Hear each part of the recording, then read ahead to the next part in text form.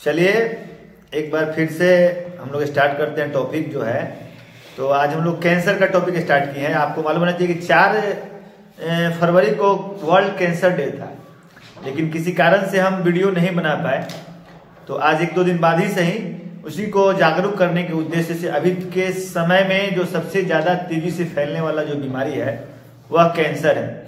और कैंसर एक ऐसा बीमारी है जिसका समझिए कि एक तरह से पूर्ण रूपेण इलाज नहीं है।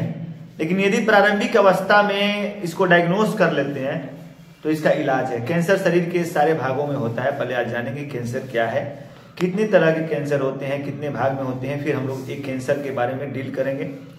तो आज सारे कैंसर को तो एक वीडियो में डील करना उचित नहीं होगा। तो आज हम लोग केवल ब्रेस्ट कैंसर को डील डील करेंगे।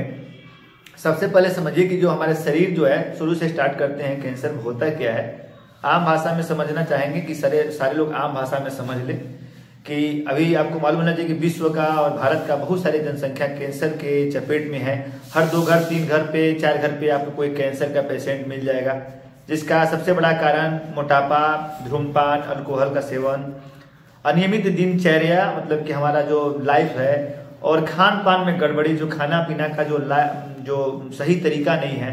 हम लोग जो खेत खलिहान में जो फ़सल खाते हैं जो फल खाते हैं फल को भी प्रिजर्व करने के लिए केमिकल डाला जाता है। आप सब्ज़ी खा रहे हैं तो सब्ज़ी भी रोप में जो प्लांटेशन किया जा रहा है उसमें भी केमिकल्स का छिड़काव किया जा रहा है। ए, बिना बिना मतलब कि दवा मारने वाला जो कीड़ा मारने वाला दवा है इन इंसेंट को मारने वाला जो है उसके बिना मतलब कि आपका फल या पौधा होगा ही नहीं।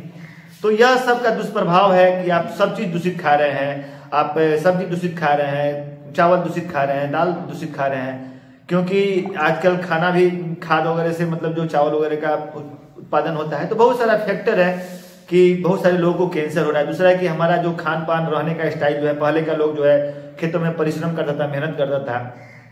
तो खाना का डाइजेशन अच्छा से होता था मेटाबॉलिज्म जो होता था, खाना का अच्छा से होता था। लेकिन आज के समय में क्या होता है कि हर किसी को काम है और कोई भी थोड़ा इधर से उधर जाना है तो मतलब कि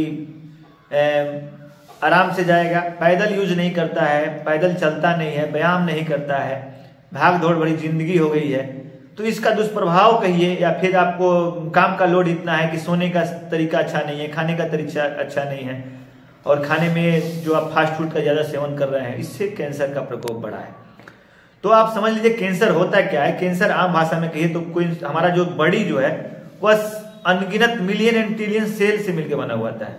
हमारे शरीर में सेल छोटी, सबसे छोटी जो इकाई होती है, वह सेल होती है, कोशिका होती है।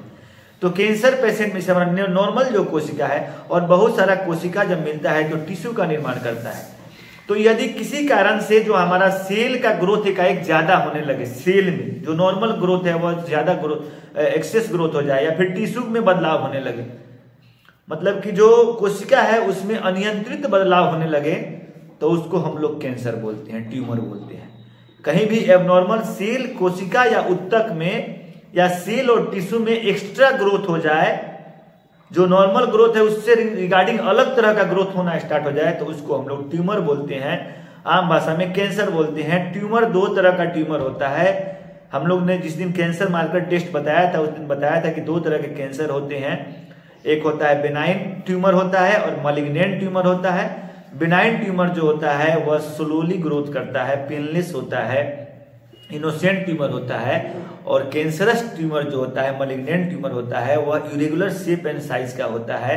उसमें बहुत तेज़ी से ग्रोथ होता है, उसमें पेन होता है और मेटास्टेटिक्स बाद में क्या हो जाएगी, जैसे कैंसर जब किसी एक भाग से, जिसे मानते मेरा कैंसर मुँह में है ओरल में है तो ओरल से चेस्ट में चला जाए किडनी में चला जाए लिम्फ नोड में चला जाए तो जब कैंसर एक स्थान से बहुत स्थान पे परिवर्तित कर जाता है तो उसको हम लोग मेटास्टेटिक्स बोलते हैं। मेटास्टेटिस में क्या होता है कि मेटास्टेटिस वाला जो कैंसर होता है, उसका कोई इलाज नहीं है। फोर्थ स्टेज होता है। कहाँ कहाँ कैंसर इलाज करोगे?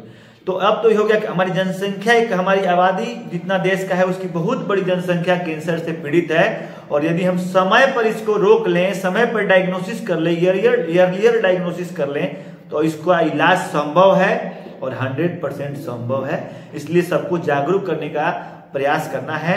हमारे वर्ल्ड हेल्थ ऑर्गेनाइजेशन के द्वारा डब्ल्यू के द्वारा भी कैंसर अवेयरनेस प्रोग्राम चलाया जाता है। बिहार सरकार और भारत सरकार के द्वारा भी कैंसर अवेयरनेस प्रोग्राम चलाया जाता है और कैंसर पे जागरूक होना ज़रूरी है। इसी के लिए हर फरवरी को, चार फरवरी को विश्व कैंसर दिवस के रूप में मनाया जाता है।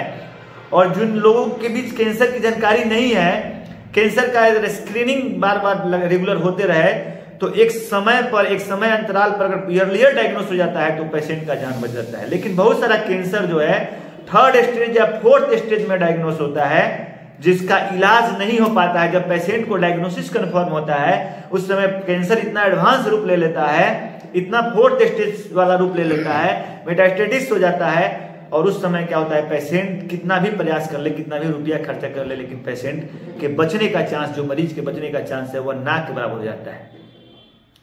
तो कैंसर के इलाज के लिए तीन तरह का थेरेपी इस्तेमाल किया जाता है। एक तो सर्जिकल रिमूवल के द्वारा कैंसर को हटाया जाता है जब डायग्नोस हो जाए। दूसरा क्या होता है? रेडियोथेरेपी रेडियो रेडिएशन के द्वारा कैंसर का इलाज किया जाता है। एक होता है कीमोथेरेपी कीमोथेरेपी में दवा के द्वारा इलाज होता है। तो सबसे पहले कैंसर नहीं हो, उसके लिए क्या करना है? उसके लिए नियमित व्यायाम करना है रेगुलर एक्सरसाइज करना है, मोटापा पे कंट्रोल करना है, दिनचर्या को सही रखना है खान पान में मतलब परहेज करके खाना है जो खाने वाला चीज़ है उसको खाना है। अल्कोहल का यूज़ नहीं करना है तंबाकू का यूज़ नहीं करना है सिगरेट का स्मोकिंग नहीं करना है डेली व्यायाम करना है योगा करना है फ़िज़िकल एक्टिविटी को बढ़ाना है और कहीं से उस हम लोग जैसे अब हम लोग आज से स्टार्ट कर रहे हैं कैंसर तो डेली कुछ ना कुछ कैंसर का हम लोग डालेंगे।